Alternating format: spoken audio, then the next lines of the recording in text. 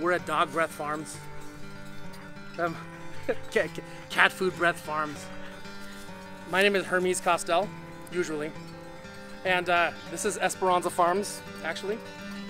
And uh, we are an aquaponic farm in Central Texas, in Red Rock, Texas, uh, where it's all about guns and barbecue. And it's fantastic.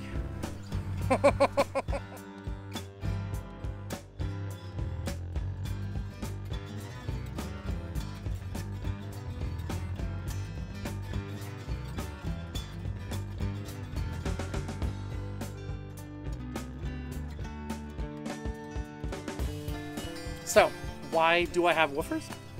Or why do I uh, choose to participate in the WWOOFing program and have uh, these uh, outsiders on my farm interacting with my family in my house, looking in my fridge, poking around in the uh, in leftovers?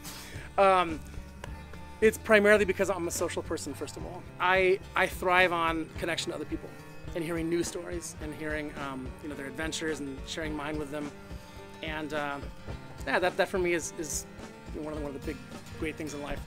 And just you know, that's um, that's for me what life is about. It's not necessarily about just uh, picking up plants out of the water and putting them back in the water again. Got a berry? You want to show Miss Celine your, your berries? Yes. Yes. Miss Serene, look at my berries. Those are beautiful. Open your hand real big. Are those your dingleberries? Yes. You, you have you have beautiful purple dingleberries. Honey.